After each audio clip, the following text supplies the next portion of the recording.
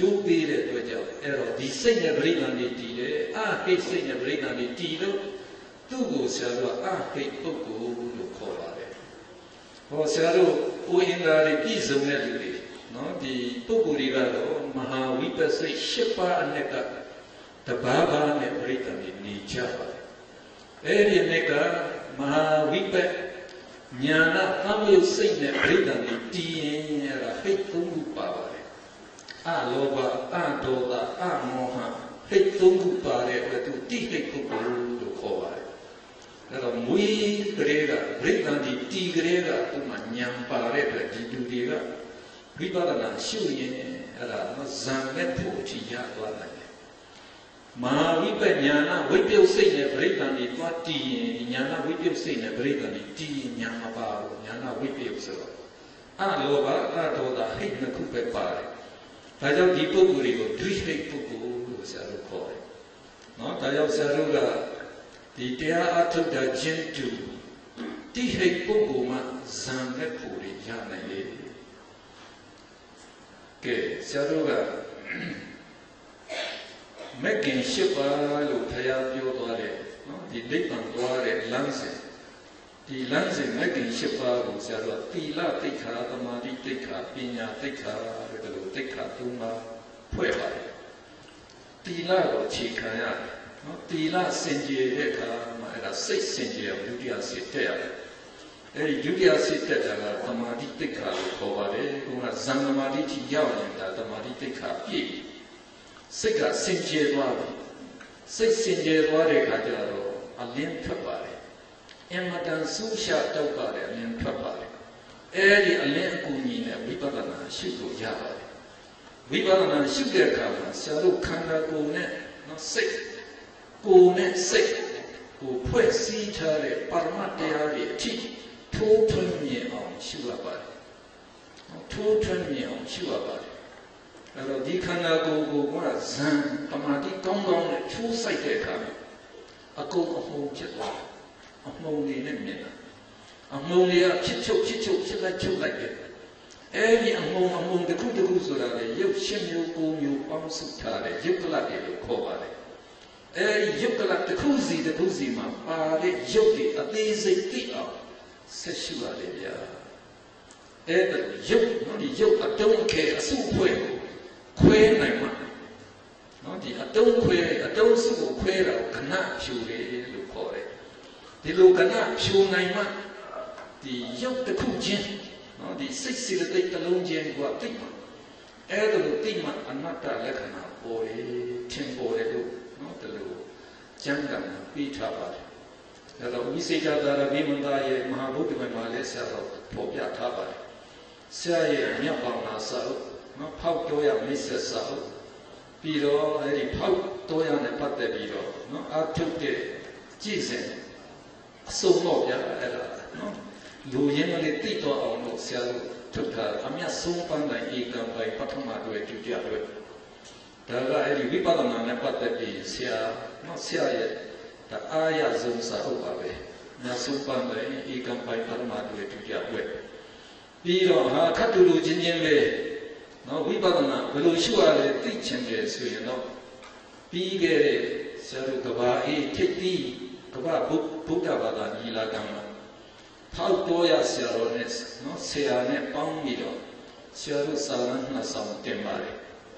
တမထဘာဝနာ၌အောင်မြင်ပေါက်မြောက်ခြင်းဝိပဿနာဘာဝနာ၌အောင်မြင်ပေါက်မြောက်ခြင်းဆိုပြီးတော့စာစာရန်နှစ်ဆောင်ဆရာတို့တင်ပါတယ်နော်ဒီတင်လိုက်တဲ့ရည်ရွယ်ချက်ကတမထဘာဝနာမှာနော်တမထ40ဖရာကမှတ်ပေးထားတယ်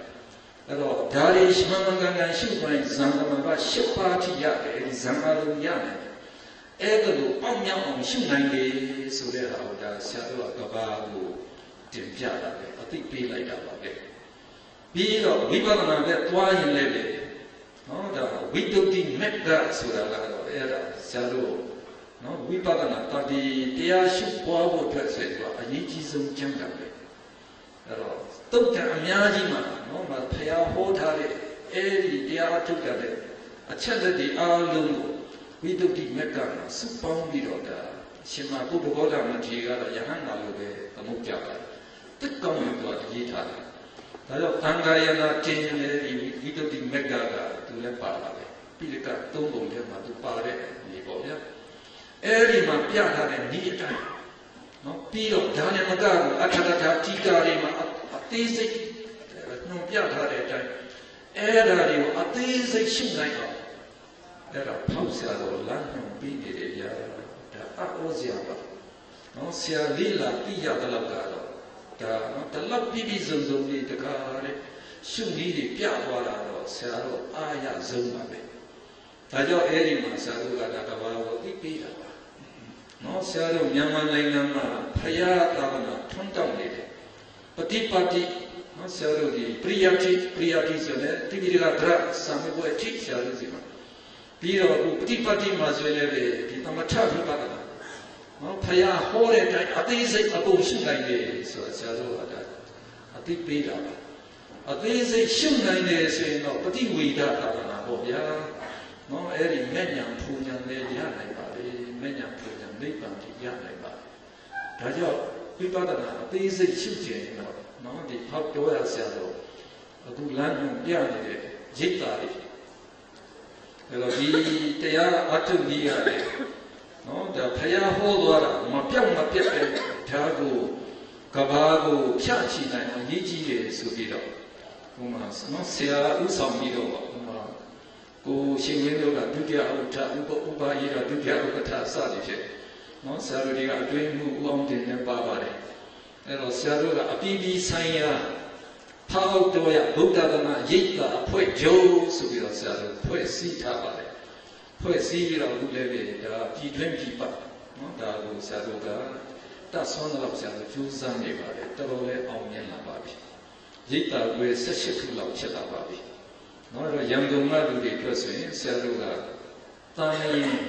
ကြိုက်ခောက်စီဒီနဲ့ကြိုက်ဒီဝစီဒီနှစ်စုကြားမှာနိုင်ငံတော်ကနေအဲ့ဒီမှာမြေကျူပေးလို့ဆရာတို့အဲ့ဒီမှာနော်ဆရာတို့ရန်ကုန်တိုင်းအတွက်ရိတ်တာဆောက်ထားပါတယ်အဲ့ဒီရိတ်တာမှာဆိုရင်လည်းယောဂီအခုတော့200လောက်ရှိနေပါတယ်300လောက်ထိအေးအေးဆေးချမ်းအထုနိုင်တဲ့အခြေအနေရောက်နေပါပြီအဲ့တော့ဟိုဖောက်ကြီးကတော့အမှန်အားရဆရာကောင်းပါနော်ဟာဆယ်နှစ်အတွင်းမှာ တိုးတက်လိုက်တဲ့ဟာကြီးအမှန်အားဟောဆရာကောင်းအခုယောဂီ800ကျော်ဗျာဝါဆိုရင်တန်ခါ900နော်ဝါဆိုတာအဲ့ဒါတဘာအဆောင်တွေတိုးထဲမှာတရင်သုံးနိုင်အောင်လို့အဲ့လိုစီမံပေးထားနိုင်ငံသားတွေလည်းပဲ100 150လောက်ထိအမြဲလို့ရှိတယ်ဗျာအမြဲလို့ရှိတယ်တချို့ကဒီမှာတင်မဲ့ နော်အဲ့ဒီကုတိကျောင်းဆောင်လေးတွေဆောက်တော့ဒီမှာတင်လာနေတာနေခွင့်ရတယ်ဆိုရင်နေခွင့်ရတော့လို့နေနေကြတာအမှန်အားရစရာကောင်းပါလေဒါကြောင့်ဆရာတို့ကဒီလိုတမာတိမှန်မှန်ထူထောင်နိုင်ရင်ဒီရုပ်ကိုတကားတဲ့ခွေးကြမ်းစိတ်ပြပါရမယုတ်တိနော်ပြီးတော့စိတ်စေတသိက်အကုန်မြင်နေဗျာအကုန်မြင်တာနော်ဒီဆရာတို့ကတကား6ပေါက်ရှိတယ်အာယုံ6ပါဒီအစင်းအာယုံမျက်စိလာတိုက်စိတ်အစင်းဖြစ်သွား နော်နာမတန်လာတိုက်ရင်စိတ်အစဉ်ဖြစ်သွားတယ်အဲဒီစိတ်အစဉ်ဖြစ်သွားတယ်အားလုံးမြင်အောင်ရှုတယ်ရှုပြီးတော့စိတ်တလုံးချင်းဖြစ်သွားတာသိပြီးတဲ့ပြင်အဲ့ဒါစိတ်တလုံးတလုံးစီမှာရှင်သွားတဲ့စေတသိက်တွေအထိမြင်အောင်ရှုနိုင်တယ်ဗျာအဟောစရာပဲရှုနိုင်တယ်နော်အဲ့လိုဝိပဿနာကြာလို့ကဒီပရမယုံနာနေမြင်တယ်ခဏမစဲဖြစ်တော့ပြက်နေတာမြင်ပြီမြင်နေဆိုရင်ခဏမစဲဖြစ်ပြီးတော့ပြက်ပြက်နေတဲ့သဘောဒီအလိစ္စဓ မ္မတိရဲတဲ့သဘောအဲ့ဒီပြက်ပြက်သွားတဲ့ဓာတ်ပြနဲ့အဆက်မပြတ်နှိမ့်ဆက်တဲ့သဘောဒီဆင်းရဲအမှန်ပဲအဲ့ဒါဒုက္ခဒုက္ခ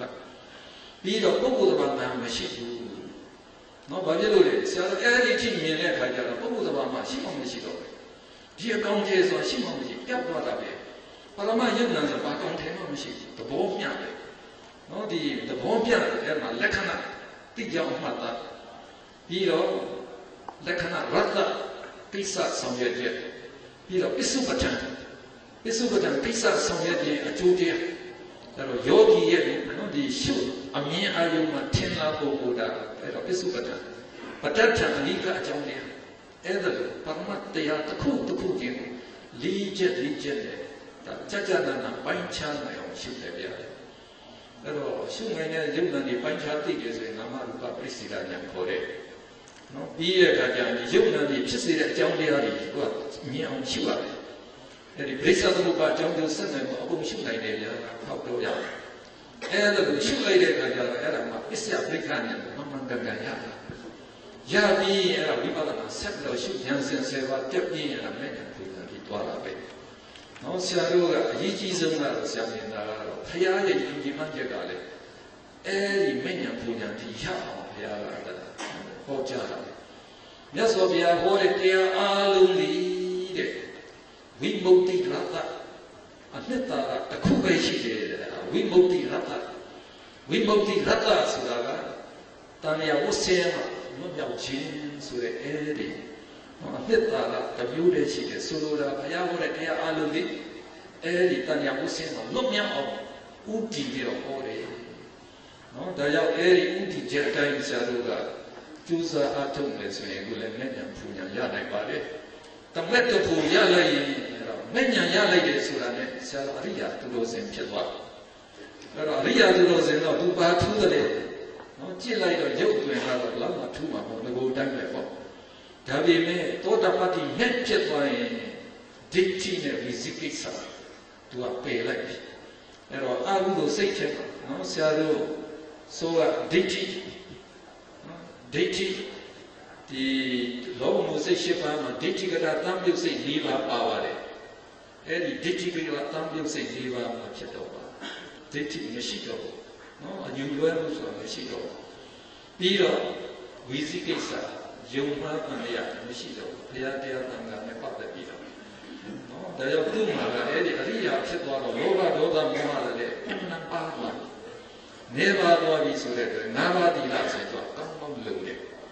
ဘုရားတရားသံဃာမဖိတ်မတော့မတုံမလှုပ်တော့တက်ပြီးကြည်ညိုတယ်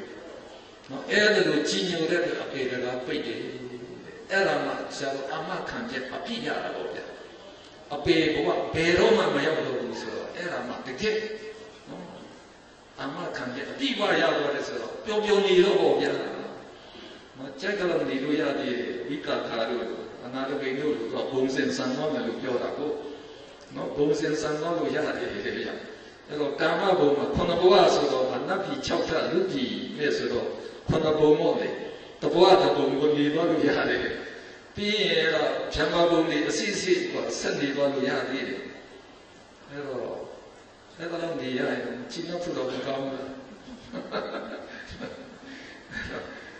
ကဲကောင်းပြီကြာဆရာတို့မဲ့ညာ၄စိကိုအောက်မှာပြထားပါတယ်လောကုတ္တရာ message ရေးပါပါလေတော့သောတ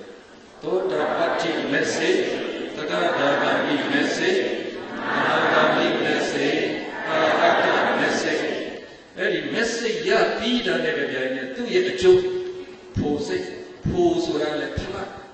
ဖလားဆိုတာအဲ့ဒီဝိပက်တဲ့တူပဲအကျိုးပဲမဲ့ရဲ့အကျိုးဖို့စိတ်၄ပါးသောတာပတ္တိဖို့စိတ်တက္ကရာဂမိဖို့စိတ်အနာဂမိဖို့စိတ်အာရတ္တဖို့စိတ် အဲ့ဒါဆရာတို့နော်မဲ့၄ပါးဖို့၄ပါးဒီဒီမဲ့၄ပါးကိုပဲဆရာတို့လောကုတ္တရာကုသိုလ်စိတ်၄ပါးလို့နာမည်ပေးပါတယ်ဒီလောကုတ္တရာကုသိုလ်စိတ်နော်ဒီမဲ့၄ပါးကသောမနတသဟဂုတ်လည်းဖြစ်နိုင်တယ်ဥပိ္ခသဟဂုတ်လည်းဖြစ်နိုင်ပါတယ်ဘုရားကဝိပဿနာရှုနေတဲ့အချိန်မှာနော်အနိစ္စဒုက္ခအနတ္တရှုနေတဲ့အချိန်မှာအဲ့တော့ကိုကဝမ်းမြောက်ဝမ်းသာရှုနေလို့မက်ဆိုင်သွားရင်ဒါအဲ့ဒီ သူမက်ဆေ့ကြီးသောသောမနတချမ်းသာတဲ့ခံစားမှုနဲ့ရှင်ဖြစ်ပါတယ်။ဒါကလေးကြတော့ဥပိ္ပခာတာကိုစိတ်နဲ့ရှုနေရင်းနဲ့နော်သူကလည်းမက်ဆိုင်သွားရင်အဲ့ဒီမက်ဆေ့ကတော့ဥပိ္ပခာတာကိုဖြစ်ပါတယ်။ဒါကြောင့်ဆရာတို့အပေါင်းတို့လက္ခဏာနှစ်ခုပေးထားပါတယ်။မက်ဆေ့ရရတဲ့ကြိုင်နဲ့သူ့ရဲ့အကျိုးဝိပဿနာဒီဝိပဿကိုပဲဖိုလို့လည်းခေါ်လိုက်တာပါအဲ့တော့လောကုတ္တရာဝိပဿစိတ်၄ပါးသည်ဖိုစိတ်၄ပါးပဲဖြစ်ပါတယ် လောကုတ္တရာကုသိုလ်စိတ်၄ပါးသည်မက်စိတ်၄ပါးဖြစ်ပါတယ်အဲ့တော့ဆရာတို့ဒီမက်၄ပါးဖို၄ပါးကဇံမတက်ပဲနဲ့ဥပဇာရတမာတိအခြေခံပြီးတော့ဝိပဿနာရှုသွားတဲ့ပုဂ္ဂိုလ်တွေ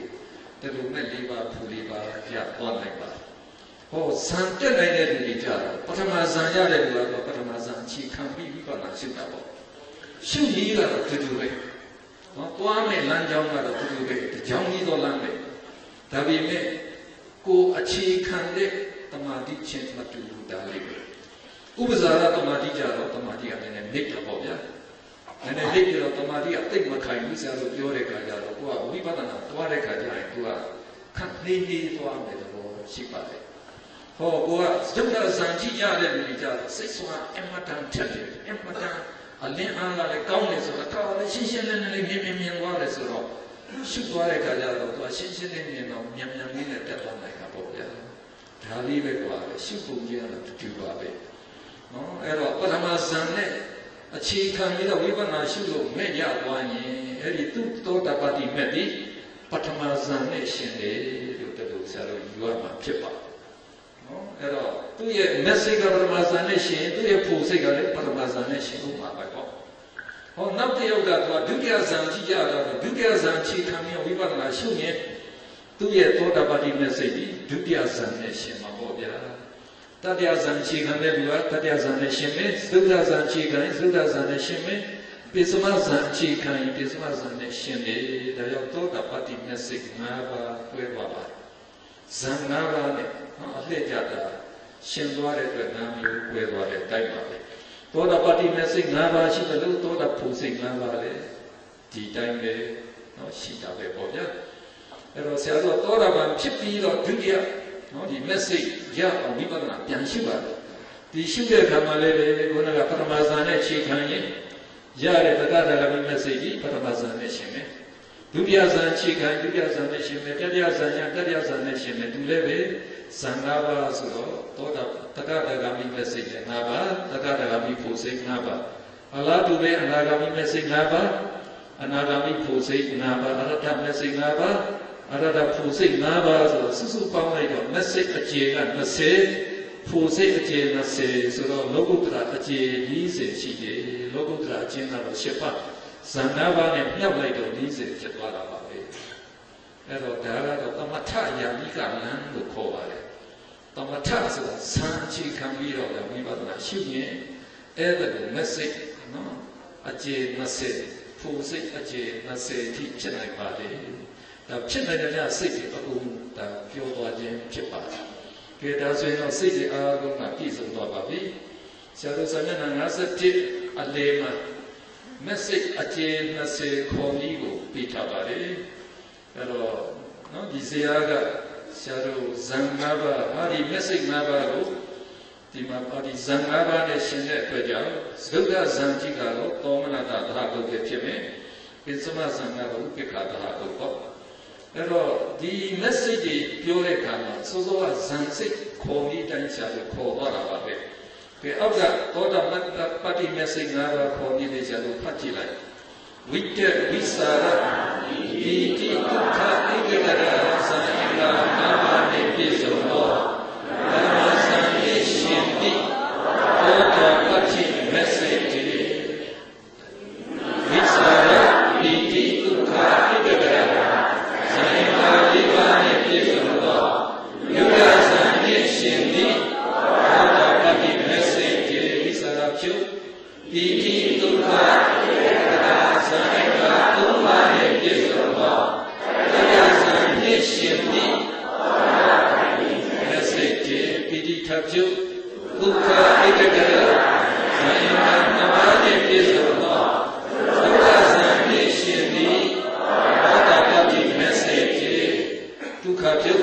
တ်ပိကထေမေဒုက္ခဧကကရဇာယံန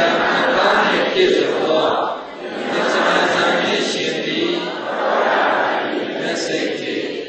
အဲ့တော့ကြံ message တွေလည်းဒီတိုင်းပဲခေါ်လို့ရပါတယ်။ဖိုစိတ်တွေလည်းဒီတိုင်းပဲခေါ်ပါတယ်။ကဲအောက်ကအရဟတဖိုစိတ်၅ပါးခေါ်ပြီးသူပြီးထားပါ။အဲ့ဒါကိုစာအုပ်မကြည့်ပဲနဲ့ဆရာတို့ဆိုကြပါ။ရပါတယ်ဗျာ။နော်ဒီလူတွေကတိဟိတ်ပုဂ္ဂိုလ်တွေပေါ့ဗျာ။နော်အဲ့တော့ ဆရာတို့ဆို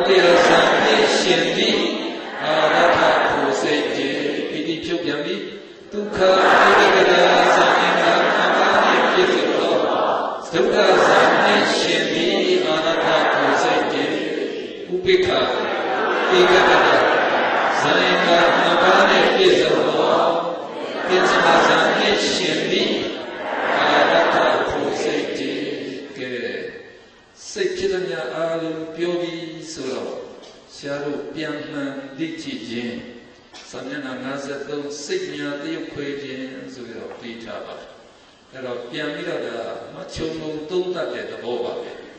အဲ့တော့ဆရာတို့ကဒီဇရာတွေကအင်မတန်အသုံးကြပါတယ်နော်ဒီဇရာတွေအခြေခံပြီးတော့ဆရာတို့ကလေ့လာတဲ့ခါကျတော့မြင်သွားတာပေါ့ဗျာပို့ပြီးတော့လည်းဖွင့်ပြီးလွယ်ပါတယ်ဒီဇရာတွေကိုဆရာတို့အောက်ဒီစာအုပ်နောက်မှာတွဲပေးထားပါတယ်နော်အဲ့ဒီဇရာတွေကစာကြည့်ရင်ဒီဇရာတွေကအဓိကထားပြီးတော့ကြည့်သွားပါကဲဆရာတို့အဲ့ဒါကို revision လုပ်မယ် revision လုပ်မယ်ဆိုတော့ဒီထိတ်ကနေဆရာတို့စမှာပေါ့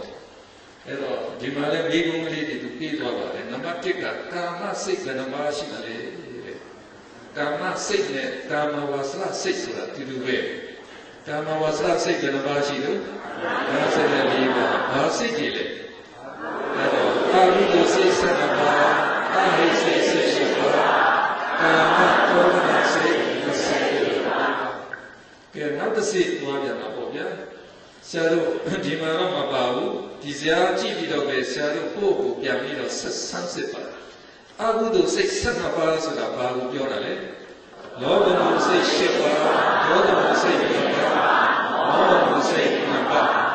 လောဘမှုစိတ်၈ပါးကဘာစိတ်တွေလဲသောမနတတဟကို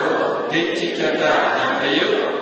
အတ္တခာရိကစိတ်တေတတ္တခာရိကစိတ်တေ သောမနတတဟကိုဒိဋ္ဌိကတဝိတယုအတ္တခာရိကစိတ်တေတတ္တခာရိကစိတ်တေဥပိ္ပခာတဟကိုဒိဋ္ဌိကတအံယုအတ္တခာရိကစိတ်တေတတ္တခာရိကစိတ်တေဥပိ္ပခာတဟကိုဒိဋ္ဌိကတဝိတယုအတ္တခာရိကစိတ်တေဘိဓမ္မာသံဝိဝဲဖြစ်ရင်နော်သူတို့ကအဲ့ဒါကို မိတာပဲလောဘမှုစိတ်၈ပါးပေါ်ပြပါအဲ့ဒါဆိုကုန်းကဆရာတို့ရွတ်သွားတဲ့အတိုင်းဒီပါဠိနော်ဒီရှစ်ကြောင်းလေးကိုရေးချအဲ့လိုရေးချနိုင်လို့ဒီပါဠိနော်ဒီစာလုံးပေါင်းနေလေကိုကလိုလေကူကူလေးမှတ်ပြီးပါလေ့ကြည့်ရတယ်ဗျလေ့မကြည့်တိုင်းနော်စိတ်ထဲတော့တိတ်တယ်လို့ပဲဒါမဲ့ဟိုရေးမှုကလက်ကမတက်ဘူးဗျာမတော်ဘူးအဲ့တော့ကွာလိကြည့်ကြရတာဒါ ရေးပြီးတော့လိကြည့်သွားတာမှပဲလွယ်လွယ်လေးနဲ့ကွာဖြေနိုင်ပါတယ်တခါဒေါသမှုစိတ်ဘယ်နှပါရှိလဲနှစ်ပါးရှိပါတယ်ဘာစိတ်တွေလဲသူတို့ကြတော့ဒေါမနတသဟကိုအတိကတံမေအတိကာရိကစိတ်တေအတိကာရိကစိတ်တေမောမှုစိတ်ကနှစ်ပါးရှိပါတယ်ဘာစိတ်တွေလဲဥပိ္ပခာတဟကိုဝိသိကိစ္စသံယုစိတ်တေ ဥပိ္ပခာတဟကိုဩဥပ္ပစ္စနမေစိတ်တိရှာရတဲ့လို့ဖတ်ဖတ်သွားရင်အဓိပ္ပာယ်ကတော့တိတိအောင်လို့လုပ်သွားပေါ့နော်အဓိပ္ပာယ်လည်းတိအောင်လုပ်အဲ့တော့မောမှုစိတ်တစ်ပါးမှာအသင်္ခါရိကတသင်္ခါရိကမခွဲဘူးမခွဲတာကတူတူလောက်မထက်ဘူးတဲ့နော်ဘယ်စိတ်ကနောက်စိတ်ထက်ပို့ပြီးတော့ထက်မြက်တယ်လို့ပြောလို့မရပါဘူးတဲ့ပြောလို့မရတဲ့အတွက်အသင်္ခါရိကတသင်္ခါရိကမ ခွဲဘူးပြီးတော့အဟိစိတ်၁၈ပါးကဗာစိတ်တွေတို့အကုသလဝိပေစိတ်ခုနပါအဟိကုသလဝိပေစိတ်၈ပါးအဟိကရိယာစိတ်၃ပါးအကုသလဝိပေစိတ်ခုနပါးကဗာစိတ်တွေလေဥပိ္ပခာတဟကိုစကုဝိညာဉ်စိတ်ဥပိ္ပခာတဟကိုသောတာဝိညာဉ်စိတ်ဥပိ္ပခာတဟကိုခန္ဓာဝိညာဉ်စိတ်ဥပိ္ပခာတဟ ကိုဇေဝဝိညာဉ်စိတ်ဒုက္ခတဟကိုကာယဝိညာဉ်စိတ်ဥပိ္ပခာတဟကိုသမ္တိဆိုင်စိတ်ဥပိ္ပခာတဟကိုတတိရဟစိတ်ဒါလည်းသံဝေမေကုံးမှာသူတို့နော်ဒါကိုတိုက်ရိုက်ပြီးတာပေါ့အကုသလဝိပဿစိတ်ခဏပါပေါ်ပြပါစေဒါကိုအကြီးချလိုက်ပြီးသွားတာပဲဒီခဏပါသိရင်အဟိကုသလဝိပဿရှိပါလေသိတာပေါ့ဗျာနော် အဲ့တော့ဆရာဆံဝဲဖြေလုံးကတော့သူတို့ကဘာရေးခိုင်းလဲဆိုမောမှုစိတ်နှစ်ပါးနဲ့အဟိကရိကရိယာစိတ်သုံးပါးပေါ်ပြပါတဲ့အဲ့တော့အဲ့ဒါလိုလေသူတို့ကမေ့နိုင်တာပေါ့ဗျာအဲ့တော့အာဟိကရိယာစိတ်သုံးပါးနဲ့ရေးပါတယ်နော်အထူးသဖြင့်လုံးတစ်ခုကဥပိ္ပခာတဟတို့ပင်စတော်ရာဝိဇံစေဥပိ္ပခာတဟတို့မနောတော်ရာဝိဇံစေအဲ့တော့ဒီဟာတော့ဥသောမနတသာတို့ဟာတိတုပ္ပါစေ သူတို့ကဥပိ္ပခာတဟတို့ဒီဖြစ်နေတယ်ဆိုတဲ့ဟာကနော်ဒီအာယုမျက်စိမှာကျင်လို့ပင်စတော်ရာဝိဇံတွားဆင်ញံနှလုံးသွင်းတဲ့အခါမှာဒီအာယုမသိသေးဘူးမသိသေးတဲ့ခါကျတော့ခံစားမှုကတော့ဥပိ္ပခာတဟတို့ပဲဖြစ်တယ်မြင်သိစိတ်ကတစ်ချက်ကလေးမြင်သွားတဲ့အချိန်မှလည်းပဲဒီအာယုကောင်းတယ်မကောင်းဘူးဆိုမသိသေးဘူး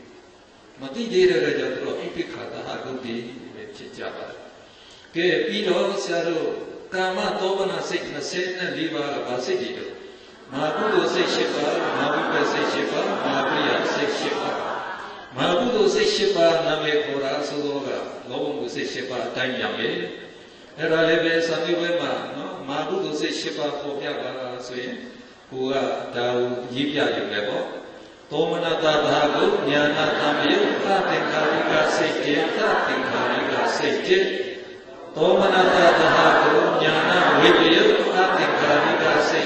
သသင်္ခါရိကစိတ်တေနောက်လေးပါးကသောမနတဥပိ္ပခာတဟကိုလို့ပြောင်းလိုက်ရုံပါပဲနော်ကဲမဟာကုသိုလ်စိတ်၈ပါးခေါ်တဲ့အတိုင်းမဟာဝိပ္ပစိတ်၈ပါးမဟာပရိယစိတ်၈ပါးဒီအတိုင်းပဲနာမည်ပြီးသွားပါကာမနော်ကာမဝါစာစိတ်ကာမစိတ်54ပါးပြီးတော့ဆရာတို့နောက်တစ်စိတ်ဒီစာအုပ်မှာနာမညှက်လို့ပြီးတာ မဟက်ကုစိတ်29ပါးတဲ့အဲ့တော့မဟက်ကုစိတ်ဆိုတာဘာစိတ်ကိုပြောတာလဲရူပဝါစာစိတ်15ပါးရေအရူပဝါစာစိတ်15ပါးရေပေါင်း29ပါးကိုခေါ်တယ်မဟက်ကုဆိုတာဘာအဓိပ္ပာယ်ရှိတယ်မြတ်သောအဖြစ်သို့ရောက်တဲ့စိတ်ကိုတဲ့မဟက်ကိုစိတ်ကိုခေါ်တယ်တဲ့ကာမစိတ်ကြီးတဲ့ပို့ပြီးတော့သူတို့အမြင့်မြတ်တယ်အစိမြင့်တယ်ဗျာ ဒါတော့ဒီမဟက်ကုတ်လို့ဆိုတာနော်ပို့ပြီးတော့အစိမြင့်တဲ့စိတ်ဒီမဟက်ကုတ်စိတ်ထဲမှာရူပဝါစစိတ်15ပါးအရူပဝါစစိတ်15ပါးပါတယ်ကဲဒီမှာလည်းကိုယ်နဲ့ပြန်ပြီးတော့နော်အသေးစိတ်ပြပါရူပဝါစစိတ်15ပါးဗာစိတ်ကြီးလေရူပဝါစကုသိုလ်စိတ်၅ပါးရူပဝါစဝိပဿစိတ်၅ပါးရူပဝါစကရိယာစိတ်၅ပါးကဲရူပဝါစကုသိုလ်စိတ်၅ပါးဘယ်လိုခေါ်လို့ ဒါကြတော့ဇံစိတ်ကြီးဆိုဇံအင်္ဂါနဲ့ပြရတယ်ဆိုတော့ဇာခေါ်တော့တဲ့အတိုင်း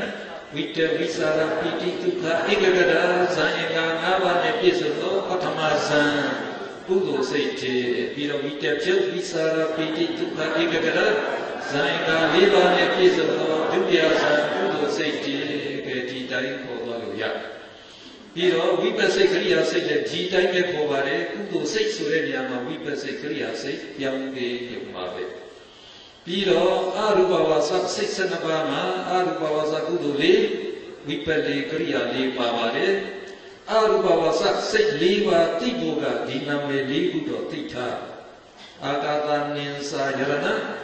ဝိညာဉ်ဉ္စာယရဏအာကိဉ္စညာယရဏ နေဝတိညာနာတိညာယရဏဒီဇံစိတ်အားလုံးကပိစမဇံနဲ့တူတယ်ဥပိ္ခဧကဂရဇံရင်ကနှစ်ပါးပဲရှိကြတယ်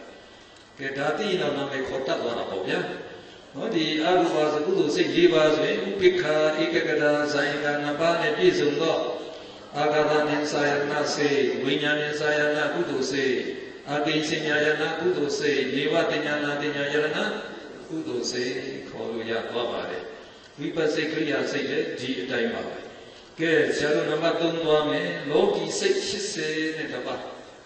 အဲ့တော့လောကီဆိုတဲ့ဟာလောကသုံးပါးမနေ့ကဆရာတို့ပြောသွားတဲ့ဘုံသုံးပါးကာမဘုံရူပဘုံအရူပဘုံနော်အဲ့ဒါကိုဒီဘုံသုံးပါးကိုတော့ဩဃာတလောကလို့ခေါ်တယ်တရဝါရီကျင်နေတဲ့ဘုံဌာနပေါ့ဗျာ အဲ့ဒီတရဝါရီအားလုံးကိုတော့တတ္တလောကလို့ခေါ်တယ်အဲ့ဒီတတ္တလောကတရဝါရီကိုဖြစ်စေတဲ့တရားဘာတွေလဲယုတ်နံတရားတွေပဲအဲ့ဒီယုတ်နံတရားတော့သင်္ခါရလောကလို့ခေါ်ပါတယ်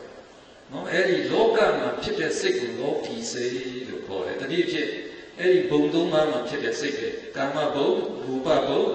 အရူပဘုံမှာဖြစ်တဲ့စိတ်ဒီစိတ်တွေကိုလောကီစိတ်လို့ခေါ်တယ် အဲ့တော့အရေးအတွက်ကြည့်တော့ကာမစိတ်54နဲ့မေကုစိတ်29ပေါင်းလိုက်တော့82ပါးပေါ့အဲ့ဒီ82ပါးကိုလောကီစိတ်82ပါးလို့နာမည်ပေးလိုက်ပါတယ်ကဲဒီနေရာမှာဆရာတို့နော်လောကီစိတ်82ပါးတော့သိသွားပြီပြီးတော့နံပါတ်၄ကစိတ်အကျဉ်း89ပါး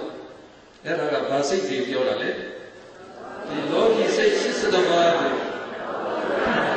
အဲ့တော့ဒီလောကုတ္တရာ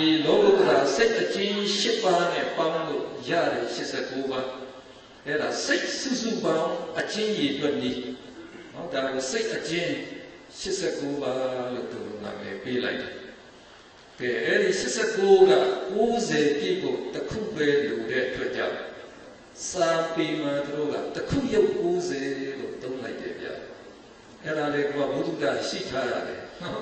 အဲ့တော့ဆရာတို့ဇံမွေးဖြေတဲ့နှစ်မှာပဲမိကုန်းကစိတ်တစ်ခုရုပ်90ကိုရှင်းပြပါတဲ့ဗျစိတ်တစ်ခုရုပ်90ဆိုတော့ကိုကနော်ကိုကမလိလာထားတဲ့ခါကျတော့ဘာတော့ဖြေလိုက်ဟာစိတ်ကတစ်ခုရုပ်က90လို့ဖြစ်ပါပြီဆိုရင်အဲ့ဒါမှားပြီပေါ့ဗျာနော်အဲ့ဒီတစ်ခုရုပ်ဆိုတာအဲ့ဒီရုပ်ကနော်ရပလဲတချောင်းတင်တတရုပ်နဲ့သူကပြောတာရုပ်လျော့နေဆိုတဲ့အဓိပ္ပာယ်ပါ ဒီရူပရုပ်ကိုပြောတာပေါ့ဇာတ်ပြောတဲ့ရုပ်နာကတာပတ်နော်ပတ်တန်တယ်ဒါအတ္တရုပ်ကဒါရူပရုပ်ပြောတာဟိုတခုရုပ်90ဆိုအဲ့ဒီရုပ်ဆိုတာကတော့ရုပ်လျော့တာသူပြောတာ90တခုရုပ်လျော့ဒီဒါစိတ်အချင်း89ပါးကိုဆိုလိုပါတယ်လို့တို့ကဖြေရမှာပေါ့ဗျာပြီးတော့ဆရာတို့စိတ်အကျေပြ20ပါးဆိုတော့အဲ့ဒီအကျေပြ20ပါးဘယ်လိုလုပ်ရလို့ ဒီလောကီစိတ်80ပါးကိုလောကုတ္တရာအကျေ40နဲ့ပေါင်းလိုက်တဲ့အခါကျတော့အဲ့ဒါ120ပါးရသွားအဲ့တော့စိတ်ကဘာဖြစ်လို့လဲလို့အချင်းချင်းနှမျိုးကွဲသွားရတယ်လေလို့ပြီးဘယ်နဲ့ဖြစ်လောကုတ္တရာစိတ်တွေကိုရေတွက်တဲ့ဒီနှမျိုးရှိတဲ့အတွက်ပြောရမှာဖြစ်ပါတယ်နော်အဲ့တော့လောကုတ္တရာအချင်း89အာ10ပါး လောကုတ္တရာအကျေ40ဆိုပြီးတော့ဒီလိုရေတွက်တဲ့ဒီနှမျိုးရှိတဲ့အတွက်ဖြစ်ပါတယ်အဲ့ဒါလို့နှမျိုးရေတွက်ရတာလဲဘာကြောင့်ဒီလိုနှမျိုးကွဲသွားတာလဲဝိပဿနာရှုတဲ့ဒီနှမျိုးကွဲလို့ပါနော်ဝိပဿနာယာနိကအဲ့ဒါကတော့ဝိပဿနာတတ်တာနဲ့တွားနော်ဇန်အခြေမခံပဲနဲ့ဒါဆရာတို့ကအဲ့ဒီဥဇာရသမာဓိနဲ့ ဝိပဿနာရှုသွားရင်လောကုတ္တရာစိတ်ရှစ်ပါးလေဖြစ်ပါမဲ့လေးပါဖို့လေးပါတမထယာနိကနီးတယ်ဗျလမ်းစဉ်နှစ်ခုရှိတယ်ဝိပဿနာယာနိကတမထယာနိကယာနိဆိုတာယင်ကိုပြောတာပဲနော်ရပက်လက်တစ်ချောင်းတည်းရေးချယာနာငယ်လုံးကြည့်တယ်ယာနိအဲ့ဒီယာနိကယင်ဝိပဿနာယင်နဲ့နိဗ္ဗာန်သွားတယ် တမထယာနိကတမထယင်နဲ့နိဗ္ဗာန်သွားတယ်အဲ့တော့တမထယာနိကဒီမှာတော့မျက်စိအကျေ20ဖဖို့စိတ်အကျေ20ဆိုတော့40ဖြစ်ပါအဲ့တော့အချင်းကြီးကွဲတာကအဲ့ဒီလောကုတ္တရာစိတ်ကတင်ရှာတော့အချင်းကြီးကွဲတာပါကဲပြီးတော့နံပါတ်6ကတော့အာသောမနာစိတ်30ဆိုတာမတိရတဲ့စိတ်ရှားလို့သိထားပြီးပြီအာဟုသောစိတ်12ပါးရဲ့ အာရိစိတ်18ပါးအောင်း30ကိုအာသောမနာဘာဖြစ်လို့အာသောမနာခေါ်လို့ဒီမှာပြတာပါလေအာဟုသောစိတ်တို့သည်အပြစ်ရှိလို့မတိရတဲ့အတွက်အာသောမနာစိတ်ကိုခေါ်တယ်အာဟိတ်စိတ်ကြီးကကောင်းတဲ့ဟိတ်ကြီးမရှင်တဲ့အတွက်မတိတယ်ဘူးဆိုပြီးတော့အသောကနာစိတ်ကိုခေါ်ပါတယ်ကဲဒါလို့ဆိုရင်သောကနာစိတ်ကဘယ်လောက်ရှိတော့အသောကနာက30ဆိုရင်သောကနာက 90နဲ့9ရှိလိမ့်မယ်90နဲ့တော့ဒီစာအုပ်ကစာမျက်နှာနည်းနည်းပျောက်နေပါကဲသောကနာစိတ်နော်59အကျဉ်း59အကျေ90ဖြစ်လို့ဒီလိုရည်တွေ့ရပါတယ်အဲ့တော့သူ့မှလည်းနီးနှမျိုးနဲ့ရည်တွေ့တာပေါ့အဲ့တော့ဘာဖြစ်လို့အဲ့လိုနီးနှမျိုးရလဲအဲ့တော့စိတ်စုစုပေါင်းစိတ်အချင်းနီးနဲ့ရည်တွေ့89 အဲ့ဒီ89မှာဘုံကအသောဝနာစိတ်30နှုတ်လိုက်ရင်59ရပါတယ်ဟောဒါသောဝနာစိတ်59ပါပဲအဲ့ဒါမှမဟုတ်ကြတော့အခြေကြီးတွက်လိုက်ရင်121လို့သွားယူအဲ့ဒီမှာ30ထုတ်လိုက်ရင်ဘယ်လောက်ရမလဲ91ဒါကြောင့်သောမနာစိတ်အချင်း59အခြေ91လို့ဒီလိုသုံးလာပါတယ်ဒါတော့ဆရာစောလေးခဏလေးလဲပြီးဒီ ကကပြောချင်တယ်ကဲနမရှိဆရာတို့သွားမယ်ဇန်စိတ်နော်ဘယ်လောက်ဘယ်လောက်ရှိတယ်လဲလို့မေးတော့90 69ပါးရှိအဲ့တော့ဘယ်စိတ်ကြည့်တော့မဲကုစိတ်29ပါးနဲ့ဘောဂုတ္တရာစိတ်အခြေ40ပေါင်းလိုက်ရင်ဒါ69ပါးရအဲ့ဒီဇန်စိတ်69ပါးမှာ ပထမဇန်စိတ်က7ပါးဒုတိယဇန်စိတ်က7ပါးတတိယဇန်စိတ်7ပါးဒုတိယဇန်စိတ်7ပါးပင်စမဇန်စိတ်23ပါးရှိတယ်ဆိုပြီးတော့အဲ့ဒါလေသိထားဖို့ကောင်းပါတယ်ကဲဆရာတို့ဒီဇာပြန်သုံးမယ်နော်ဇန်စိတ်ကြီးဆိုတဲ့ဟာကဆရာတို့ဒီမဟကုတ်စိတ်28ပါးလုံးကဇန်စိတ်ကြီးကြီးပဲနော်ဒါရူပဝါစာစိတ်15အရူပဝါစာစိတ်15ပါး ဒီစိတ်အားလုံးကဒါဇန်စိတ်ကြီးကြီးပဲဒါလောကီဇန်လို့ခေါ်တယ်လောကီစိတ်ကျဲကဇန်စိတ်ဖြစ်လို့လောကီဇန်စိတ်28ပါးပြီးတော့လောကုတ္တရာဇန်စိတ်ကတော့ဒီမက်စိတ်အခြေ20ပူစိတ်အခြေ20ကဇန်လေးအသီးသီးနဲ့ရှင်တဲ့အတွက်ကြောင့်သူတို့ကိုလောကုတ္တရာဇန်စိတ်အခြေ40လို့ခေါ်တယ်နှစ်ယောက်ပေါင်းလိုက်တော့60နဲ့ခုနပါကဲအဲ့ဒီ69ပါးမှာပထမဇန်ဘယ်နှပါးပါလဲနော်ဒုတိယဇန်ဘယ်နှပါးပါလဲ အဲ့တော့ဒါလေးဒီဆရာကြီးဆရာတို့ကြည့်လိုက်ရင်ဒီပထမဆုံးအကွက်ကလေးကြည့်လိုက်ရူပဝါစကုသိုလ်ဇန်၅ပါးမှာနော်ပထမဇန်ဒုတိယဇန်တတိယဇန်သုတ္တဇန်ပင်စမဇန်တပါးစီပါပါတယ်အဲ့တော့ဝိပဿနာ၅ပါးပရိယာစိတ်၅ပါးမှာလည်းကြည်တိုက်တယ်ပေါ့တပါးစီပါမယ်ဆိုတော့ရူပဝါစစိတ်၅ပါးမှာပထမဇန်ဘယ်နှပါးရှိလဲ၃ပါးဒုတိယဇ န်၃ပါးတတိယဇန်၃ပါးသုတ္တဇန်ပင်စမဇန်အဲ့တော့၃ပါးစီလို့မှတ်ထားပါအရူပဝါစစိတ်12ပါးလုံးကိုပင်စမဇန်နဲ့ထည့်ကြည့်ရဘာဖြစ်လို့လဲဇန်အင်္ဂါကပင်စမဇန်နဲ့တွားတူလို့နော်သူတို့လည်းဥပိ္ပခာဧကဂရဇန်အင်္ဂါနှစ်ပါးပဲရှိတယ်ဆိုတော့ပင်စမဇန်နဲ့တူလို့အဲ့တော့ဒီ12ပါးကပင်စမဇန်နဲ့မှာထည့်ကြည့်တွေ့ရတယ်လို့မှတ်ထားပြီးရင်ဆရာတို့ နော်လောကုတ္တရာဇန်40ဆရာတို့ပြန်ကြည့်သောတာပတိမက်စိတ်၅ပါးမှာပရမဇန်ဒုတိယဇန်တတိယဇန်သုတ္တဇန်ပစ္စမဇန်တပါးစီပါပါတယ်။ကျန်တဲ့မဲ့၅ပါး၅ပါးဒီမှာလည်းဒီတိုင်းပဲတပါးစီဆိုတော့ပထမဇန်၄ပါးဒုတိယဇန်၄ပါးတလို့မရှိဘူးလား။ပြီးတော့ဖိုစိတ်တွေကလည်းဒီတိုင်းပဲသွားမယ်ဆိုတော့နော်ဖိုစိတ်မှလည်းပဲဒီပထမဇန်ဒုတိယဇန်တတိယဇန်သုတ္တဇန်ပစ္စမဇန်တပါးစီပဲဆိုတော့တို့လည်းပဲ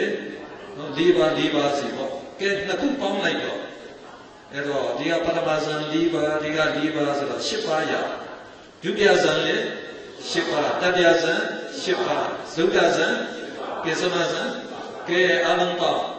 ခုနကဒီမှာပထမဇန်3ပါးဒီမှာပထမဇန်10ပါးပေါင်းလိုက်တော့7ပါးရပထမဇန်7ပါးဆိုရင်ဒုတိယဇန်လည်း7ပါးပဲတတိယဇန်လည်း7ပါးပဲသုဒ္ဓဇန်လည်း 7ပါးပဲပစ္စမဇန်ကြတော့အဲဒီ7ပါးမှာဘုန်းကအရူပဝါစဇန်7ပါးပေါင်းပြီပေါင်းလိုက်တော့23ပါးရသွားပါပဲ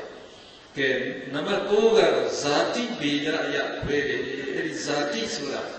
မျိုးရိုးဇာတိတတိယဖြစ်အမျိုးဇာတ်နော်လူတွေမှာသူအမျိုးဇာတ်ခွဲတယ်လို့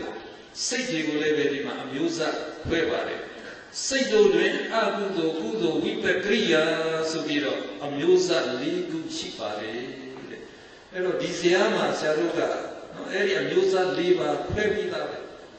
အဲ့တော့ဆရာတို့ကြည့်လိုက်ရင်နော်ဒါဒီဇာတ်ဒီဇာတ်အကျေမှာဆိုတာအကုသိုလ်စိတ်ဒါတွေကကုသိုလ်စိတ်ဒါတွေကတော့ဝိပက်စိတ်ဒါကရိယာစိတ်အဲ့ဒါအမျိုးဇာတ်၄ပါးပါပဲဟုတ်ပြီနော် ဒါတော့မျိုးစား၄ပါးပါလေအကုသိုလ်စိတ်တစ်မျိုးအမျိုးစားတစ်မျိုးပေါ့ဗျာအကုသိုလ်ပြည့်ရှိတဲ့စိတ်ကြီးပြီးတော့ကုသိုလ်စိတ်ကမျိုးစားတစ်မျိုးဝိပဿစိတ်ကတစ်မျိုးကရိယာစိတ်တစ်မျိုး၄မျိုးတို့လိုယူတယ်ကဲဆရာတို့အဲ့ဒီမှာလည်းပဲသံဃဝဲမှာကြာတော့တို့ကနည်းနည်းစစ်တော့ပေါ့ဗျာနော်စစ်လိုက်တဲ့အခါကျရင်တို့ကဥပမာဆရာတို့ကာမစိတ်54ပါးနော်ကာမစိတ်54ပါးအကုသိုလ်စိတ်ကုသိုလ်စိတ်ဝိပဿစိတ်ကရိယာစိတ်မြ ည်ညစီပါဝင်တယ်ဒီလိုမေးလိုက်တယ်အဲ့ဒါလိုမဟုတ်သူတို့ကကာမစိတ်နာသနာကာမစိတ်ကြီးကိုအမျိုးစားအဖြစ်ခွဲပြပါအဲ့တော့ကိုကဘာဖြေရမလဲကဲဒီကာမစိတ်54ထဲမှာအဟုစိတ်ဘယ်နှပါးပါအဟုစိတ်7ပါးဒါတော့ပဲဖြေရတယ်ကုသိုလ်စိတ်10ပါးဝိပဿစိတ်ခုနှစ်နဲ့10ပါး7နောက်တစ်ခါ10နဲ့ထပ်ပါ 23ပါးနော်ကာမစိတ်ကဒီထိတော့အဲ့တော့ဒီမြင်းကြောင်းထိဆိုတော့အဲ့တော့ဒီဝိပဿစိတ်တွေအားလုံးယူရတာပေါ့နော်23ပါးကရိယာစိတ်က3နဲ့8ပါး7ပါးအဲ့ဒါလေးဖြည့်ရေးလိုက်ရုံပဲကိုသိရင်တော့သိကြရတာပေါ့ဗျာအကုသိုလ်စိတ်7ပါးကုသိုလ်စိတ်8ပါးဝိပဿစိတ်23ပါးကရိယာစိတ်7ပါးပြီးပြီအဖြေရပါကဲအလားတူပဲမဟဘုတ်စိတ်28ပါး နော်29ပါးကိုအပြိုးစား၄ပါးအဖြစ်ခွဲပြပါဆိုရင်ဒီတစ်ခွက်ပဲအဲ့တော့ဒီနှစ်ခွက်မှာဆရာတို့အကုသိုလ်စိတ်ပါရဲ့လားအကုသိုလ်စိတ်မပါဘူးမရှိပါဘူးနော်ပြီးတော့ကုသိုလ်စိတ်ဘယ်လောက်ပါတော့ရူပဝါစာကုသိုလ်နာအရူပဝါစာကုသိုလ်၄ဆိုကိုကိုပါးမှာပါဘူးလားကိုပါးပါပါတယ်ဝိပဿစိတ်ကတော့ကိုပါးပဲကရိယာစိတ်ကတော့ကိုပါးပဲဒီအပိညာကတော့ဒါတိကြပဲဒါအထူးစိတ် နော်တော့ပစ္စမဇံပဲပစ္စမဇံကအထူးသိတဲ့ဉာဏ်နဲ့ရှင်းတာတိကျစိတ်မဟုတ်ဘူးပေါ့နော်ဒါကြောင့်ဆရာတို့ဒီလိုစိတ်အရေးအတွက်နဲ့ပြောရင်ကုသိုလ်စိတ်၅ပါးဝိပဿစိတ်၅ပါးကရိယာစိတ်၅ပါးရှိတယ်ကဲကောင်းပြီအဲဒီလောကီစိတ်အာဒါဒါတွေကမိုက်ဘုတ်စိတ်မိုက်ဘုတ်စိတ်ထဲကကုသိုလ်စိတ်တွေကိုမဟကုကုသိုလ်စိတ်လို့တလို့သုံးပါတယ် နော်မဟကုစိတ်ထဲကဝိပဿစိတ်၉ပါးကိုလည်းပါခေါ်မယ်လေမဲကုတ်ဝိပဿစိတ်၉ပါးကရိယာစိတ်၉ပါးကိုလည်းမဲကုတ်ကရိယာစိတ်၉ပါးလို့တို့ခေါ်ပါတယ်ဗျာနော်ကဲဆရာတို့ပေါင်းလိုက်အောင်စိုးစိုးကကာမစိတ်54နဲ့အခုမဲကုတ်စိတ်29ပါးပေါင်းလိုက်တော့လောကီစိတ်87မရဘူးလားအဲဒီလောကီစိတ်87ကိုအမျိုးစားအဖြစ်ခွဲပါဆိုရင်မလို့ရ အဲ့တော့နော်ဆရာတို့ကာမစိတ်မှာဘုံကအာဟုစိတ်12ပါးဒီမှာကြည့်လိုက်လည်းရပါတယ်ဆရာတို့ကလောကီစိတ်80ပါးဆိုတော့မေကုစိတ်29ပါးအထိဆိုဒီမြင်းအထိပေါ့နော်ဒီမြင်းအနဲ့အထိအဲ့ဒီမြင်းအနဲ့အထိကစိတ်ရဲ့အာလုံးကိုရည်တွက်ပြရအဲ့တော့အာဟုစိတ်ကဘယ်နှပါးရှိမှလဲ7ပါးပဲပေါ့ကုသိုလ်စိတ်ကဘယ်နှပါးရှိမှလဲစောစောကဆရာတို့ကာမကုသိုလ်ရှိရဲ့ ဘုံကမဟကုကုသိုလ်9ရေပေါင်းတော့8နဲ့9ပေါင်းတော့18ပါးရတယ်အဲ့ဒါလောကီစိတ်စစ်ပါးမှာကုသိုလ်စိတ်စစ်စုပေါင်းဘယ်နှပါးပါလဲ18ပါးအဲ့ဒီ18ပါးကိုပေါင်းပြီးတော့ခေါ်ရင်လောကီကုသိုလ်စိတ်18ပါးလို့ခေါ်ပါတယ်နော်အဲ့တော့တကယ်လို့သံဃာမှာလောကီကုသိုလ်စိတ်များပေါ်ပြပါဆိုရင်ဘာပေါ်ပြမှာလဲ လောကီကုသိုလ်စိတ်16ပါးရှိပါသည်၎င်းတို့မှာမာကုသိုလ်စိတ်10ပါးရူပဝါစာကုသိုလ်5ပါးအာရူပဝါစာကုသိုလ်4ပါးတို့ဖြစ်ပါသည်ဒါဖြစ်ရမှာပေါ့ဗျာဟုတ်ပြီနော်ကဲဝိပဿနာကဘယ်နှပါးရှိစောစောကဆရာတို့ကာမစိတ်ချေကဒီသုံးခုပေါင်းတော့ကာမဝိပဿနာ23မဟေကုဝိပဿနာ9ပါး23နဲ့9ပေါင်းတော့ 32ပါးရှိပါတယ်အဲ့ဒါကိုလည်းပေါင်းပြီးတော့ခေါ်ရင်လောကီဝိပဿိ32ပါးဟုတ်ပြီနော်လောကီဝိပဿိဘယ်နှပါးရှိလဲ32ပါးနော်နော်ကဲကောင်းပြီခရိယာစိတ်ကတော့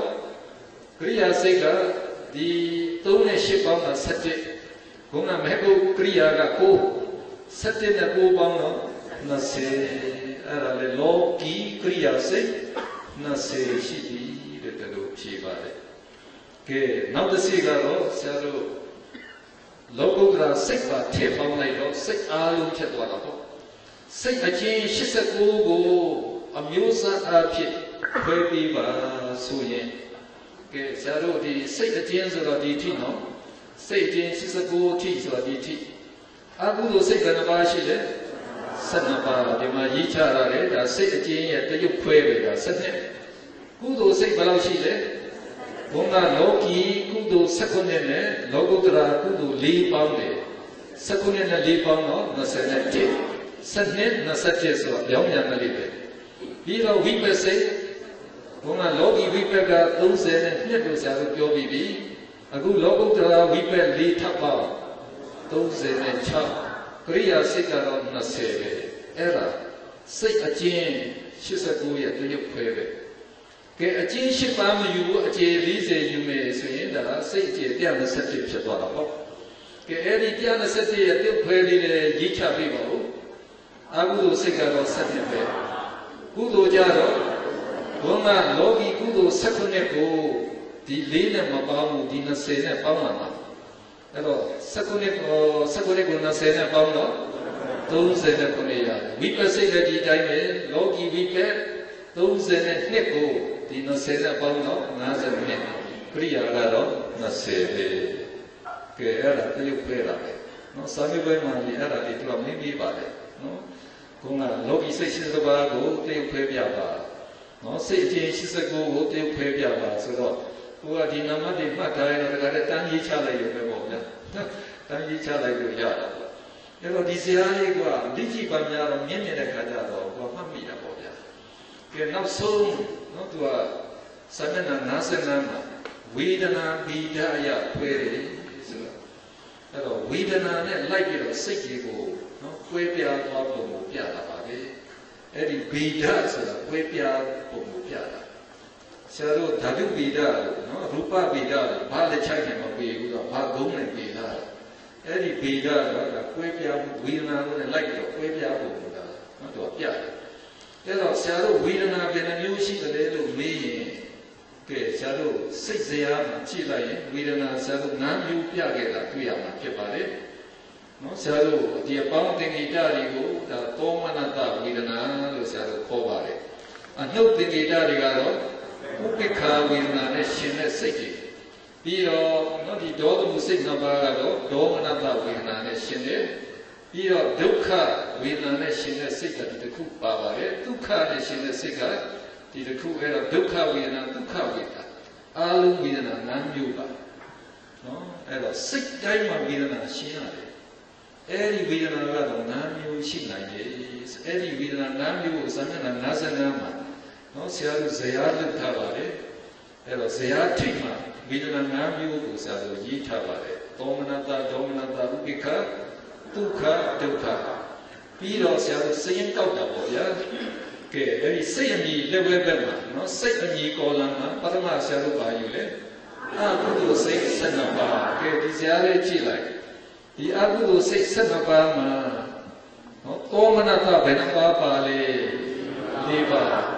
ပြီးတော့ဒေါမနတဘယ်နှပါးပါလဲနှစ်ပါးဥပိ္ပခာဘယ်နှပါးပါလို့6ပါးဒါပဲရှိတယ် အဲ့ဒါစဉ်းနဲ့ထည့်လိုက်တာပဲနော်သောမနတာလေးဒေါမနတာနဲ့ဥပိ္ပခာ6ဒုက္ခမရှိဘူးဒုက္ခမရှိဘူးကဲနောက်တစ်ကြောင်းအောင်စဉ်အအဟိစိတ်78ပါးကဲဒီအခွက်ကိုယူတယ်အဲ့ဒီအဟိစိတ်78ပါးမှာသောမနတကဘယ်နှပါးလဲဒီနှစ်ပါးပဲပြီးတော့ဆရာတော်ဥပိ္ပခာကသူကနော်14ပါးရှိတယ်ပြီးတော့ဒေါမနတမရှိဘူးဒုက္ခတစ်ခုရှိတယ် ဒုက္ခတစ်ခုရှိတယ်အဲ့ဒါဆရာလည်းထည့်ဖြစ်လိုက်တာပဲဒေါမနတနဲ့ဒေါမနတမရှိဥပိ္ပခာ14ဒုက္ခတစ်ဒုက္ခတစ်ကဲကာမသောမန24ပါးမှာသောမနတက4 4 4ဆို7နှစ်ဥပိ္ပခာလည်း7နှစ်ပါပဲနှမျိုးပဲကဲထည့်ရေးလိုက်သောမနတ7နှစ်ဥပိ္ပခာ7နှစ်အဲ့ဒီအထိပေါင်းလိုက်ပေါင်းလိုက်တော့ကာမစိတ်54ရ ကာမစိတ်54မှာသောမနတသဟကုစိတ်ကဘယ်နှပါလဲ18ဒေါမနတဝိညာဉ်နဲ့ရှင်းတာနှစ်ဥပိ္ပခာနဲ့ရှင်းတာ30ဒုက္ခတိဒုက္ခတိအဲ့ဒါအောက်မှာဆောင်းလို့လွတ်ထားတယ်နော်ဒါလေဒီဆရာတော်ကဆောင်းလို့လေးတွေလွတ်လွတ်ပြီးတာမှတ်ရလွယ်အောင်ပေါ့အဲ့တော့ကာမစိတ်54ပါးမှာတဲ့ဥ32တော78ဒေါနှစ်ဒုတုတိတဲ့ကဲဥဒဥပိ္ခ32ပါးတော သောမနတ78ပါးဒေါဒေါမနတ2ပါးဒုဒုက္ခဒုက္ခဒုက္ခတပါးစီဆိုတော့နော်ဒါဒီဆောင်းပုဒ်ကလေးမှတ်ထားရင်ကာမစိတ်54ရဲ့ဝေဒနာနဲ့နော်ကွဲပြားပုံဆရာတို့သိသွားပါကဲအပေါ်ကဇေယျဆရာတို့ထပ်ဆက်မယ်ကာမစိတ်54ပြီးတော့ဆရာတို့ဘာယူလို့ဆိုတော့ဒီမဟေဘုတ်စိတ်28ပါးယူပါတယ် ကဲဒီဇာတ်မှာကြည့်ဟေဘုတ်စိတ်28ပါးမှာတောမနတဘယ်နှပါးတို့လေးလေးလေးဆိုဆက်တဲ့ပဲဥပိ္ပခာကဒီက3ဒီက7နှစ်ဆိုတော့15အဲ့ဒါလေးရေးချတာပါပဲသောမနတာ7နှစ်ဥပိ္ပခာ7အဲ့ဒီထိပေါင်းလိုက်တော့ဆရာတို့လောကီစိတ်87မရဘူးလားနော်ကာမစိတ်54နဲ့ကုစိတ်29ပါးပေါင်းတော့လောကီစိတ်80ပါး အဲ့ဒီထဲမှာသောမနတာစိတ်ဘယ်နှပါးပါလဲ30သောမနတာနဲ့ဥပိ္ပခာ49ဒုက္ခတိဒုက္ခတိကဲအောက်ကဆောင်ဖို့ဒုတိယအကြောင်းတော့လောကီစိတ်82ပါး၌ဥဇောတတ္တသောတေတဒေါဒေါဒုတုဧတဲ့အဲ့တော့ဒုတုတစ်ပြောတာနဲ့ဒုတုအပြောတာနဲ့တူတူပါပဲအဆိုတာဣက ဣကဆိုတာတစ်ကိုပြောတာပဲပေါ့နော်အဲ့တော့ဒုတုတစ်တော့ကိုကကိုကတစ်တယ်လည်းဒုတုတစ်ပြောလို့ရပါတယ်ကဲတရုပ်တော့လိုက်တော့ဥက္ကဥပိ္ခာဇောကတော့ဇောကတော့သူက၄လို့ဒီမှာကောက်ထားတယ်တတ္တကတော့ခုနှစ်ပေါ်တယ်အဲ့တော့တော့ဇောဥပိ္ပခာသာကုစိတ်က49ပါးတောသောမနတတိန်တဆိုတာ30ကိုပြောပါတယ်ပါဠိက30နော်တိန်တဆိုတာ30ဒေါဒွ အဲ့ဒီဒွာတို့ဒွိတို့ဒွေတို့ကနှစ်ကိုပြောပါတယ်ဒါတော့ဒေါဒွာဆိုရင်ဒေါသမုစိတ်နှစ်ပါးဒုတုအစရောဒုက္ခတေတုခတက်ပါပဲကဲဆရာတို့ကနောက်ဆုံးကတော့နော်ဆရာတို့အဲ့ဒီအပေါ်ဇာလေးပြန်ကြည့်ပါဦးပြန်ကြည့်တော့လောကီစိတ်စစ်ပါပြီးတော့ဆရာတို့လောကုတ္တရာစိတ်သွားပါတယ်လောကုတ္တရာစိတ်သွားတဲ့ခါကျတော့ဒီအချင်း၈ပါးကိုဆရာတို့ယူလို့မရဘူး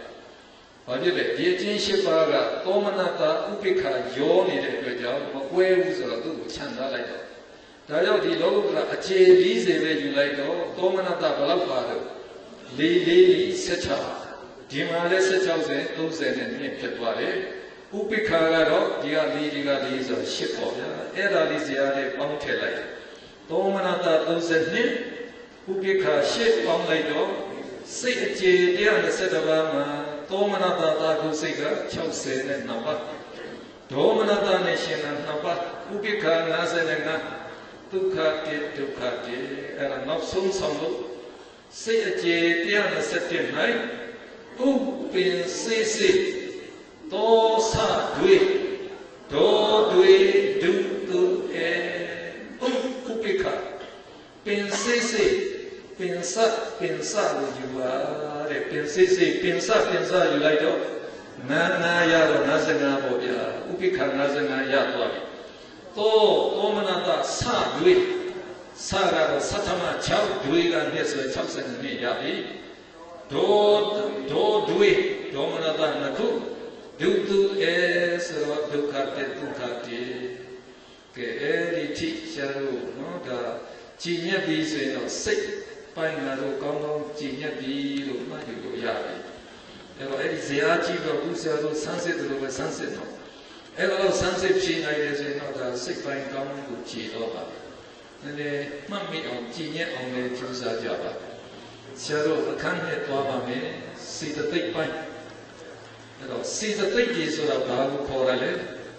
အဲ့တော့ဒီမှာဆရာတို့လည်းပြီးထားပါတယ်စိတ်၌မိတွေ့၍ စိတ်ကိုချေတဲ့သဘောတရားတွေကိုစေတသိက်လို့ခေါ်ပါတယ်စေတသိက်လို့ခေါ်နိုင်ဖို့အတွက်အောက်ကအင်္ဂါ၄ရပ်နဲ့ပြည့်စုံရမယ်တဲ့ရအဲ့ဒီအင်္ဂါ၄ရပ်ကဧကုပ္ပါဒဧကုပ္ပါဒကဒါပါဠိလိုကသိချင်ရင်ပေါ့လေသူကဧကဥပ္ပါဒဧကကတိဥပ္ပါဒကဖြစ်ခြင်း ဖြစ်ခြင်းတစ်ခုပဲရှိတယ်ဆိုတဲ့ဟာကစိတ်နဲ့စေတသိက်တွေအတူတူဖြစ်တယ်တပြိုင်နက်ဖြစ်တာစိတ်စေတသိက်တွေပြီးတော့ဧကနိရောဓနိရောဓဆိုတာချုပ်ငြိမ်းတာအဲ့တော့ချုပ်ငြိမ်းခြင်းနဲ့တစ်ခုပဲရှိတယ်ဆိုတော့စိတ်နဲ့စေတသိက်တွေဗျိုင်းတူချုပ်တယ်ဗျိုင်းတူဖြစ်တယ်ဗျိုင်းတူချုပ်တယ်ဧကလံပနအဲ့တော့ပါဠိမှာကာကိုကနဲ့အခွဲလို့ရတယ် ဧကကတိအလံပနကအာယုံနဲ့ဗျာအလံပနအရမဏအဲ့ဒါအာယုံကိုပြောတာအာယုံကလည်းတစ်ခုပဲဆိုတဲ့ဟာကစိတ်ယူတဲ့အာယုံကိုပဲစေတသိက်တွေလိုက်ယူပါတယ်တဲ့စိတ်စေတသိက်တွေအာယုံတစ်ခုတည်းကိုယူပါတယ်ဧကဝတ္ထုကအဲဒီဝတ္ထုဆိုတာစိတ်စေတသိက်တွေမိတဲ့ရုပ်တွေဗျာ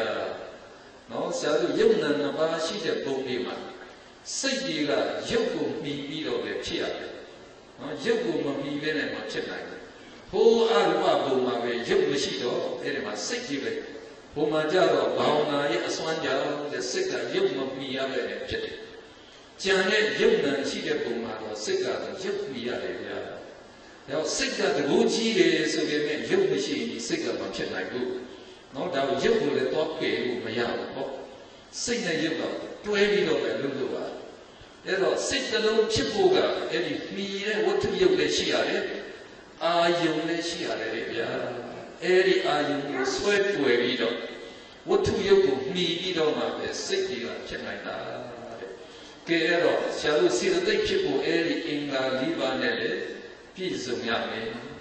နောက်ဆံမျက်နှာ52ခုနဲ့စေတသိက်စုစုပေါင်းဘယ်လောက်ရှိတော့50နဲ့နှစ်ပါးရှိပါလေအဲ့ဒါကို သုံးမျိုးအရင်ခွဲတယ်အညသမနော်အညသမဏပါဠိကအညသမဏကိုမြန်မာအညသမစေတသိက်73ပါးအဲ့ဒီအညသမ73ပါးကတော့ဈာနေစေတသိက်တွေပဲတနည်းပြောရင်နှစ်ဖက်ရစေတသိက်ဘယ်လိုနှစ်ဖက်ရလဲကုသိုလ်စိတ်နဲ့လည်းရှင်နိုင်တယ်အကုသိုလ်စိတ်နဲ့လည်းရှင်နိုင်တဲ့စိတ်တွေဖြစ်ပါတယ်စေတသိက်တွေဖြစ်ပါတယ်ပြီးတော့အကုသိုလ်စေတသိက်14ပါးဆိုရတော့အကုသိုလ်ဆိုအပြစ်ရှိကြပေါ့ဗျာ အပြစ်ရှိပြီးတော့မကောင်းကျိုးပေးတဲ့စေတသိက်တွေပါပဲအကုသိုလ်စေတသိက်14ပါးပြီးတော့သောမနာစေတသိက်သောမနာကတည်တယ်တဲ့စေတသိက်ဆိုတာလှပတည်တယ်တဲ့စေတသိက်ဆိုတော့ကောင်းတဲ့စေတသိက်က25ပါးရှိတယ်တဲ့အဲ့တော့စိတ်ကိုဒီစေတသိက်ကြီးခြေလဲနေပါတယ်ကဲအဲ့ဒီသုံးစုနဲ့ကဆရာတို့ပထမတစ်စုကိုနောက်ခေါင်းစဉ်ပြန်ပြီးတော့ယူပါတဲ့အညသမန်စေတသိက်73ပါး အညသမန်စေတသိက်ကြီးကိုလေဒီဆရာတော်ကဆောင်းလုပ်လုပ်ပေးထားတာကကောင်းစုနှစ်တန်ခတ်တိုင်းနံတမန်အညတိရတာတဲ့ကောင်းစုနှစ်တန်ကောင်းတဲ့စိတ်နဲ့ရောဆိုးတဲ့စိတ်နဲ့ရောအဲ့တော့ဆိုလိုကတော့ဆရာတို့စိတ်ကိုနော်အသောဗနာမတိတယ်တဲ့စိတ်ပြီးတော့သောဗနာတိတယ်တဲ့စိတ်တဲ့လိုနှမျိုးခွဲအဲ့ဒီနှမျိုးလုံးနဲ့ နော်ရှင်နိုင်တဲ့စေတသိက်တွေဖြစ်ပါလေတဲ့ကောင်းဆိုးနှတ်တဲ့ခတ်တိုင်းနံဆိုတော့စားနဲ့နိုင်တာပေါ့ဗျာအဲ့တော့စားကဟင်းလေးမှလည်းထည့်ရတယ်ဟင်းပြိုမှလည်းထည့်ရတယ်ဟင်းတိုင်းမှမပါဘူးလားအေးအဲ့တော့ခတ်တိုင်းနံဆိုတော့ဒီစေတသိက်တွေအဲ့ဒါလိုရှင်းပါတယ်တမန်အညဆိုတော့အညတမန်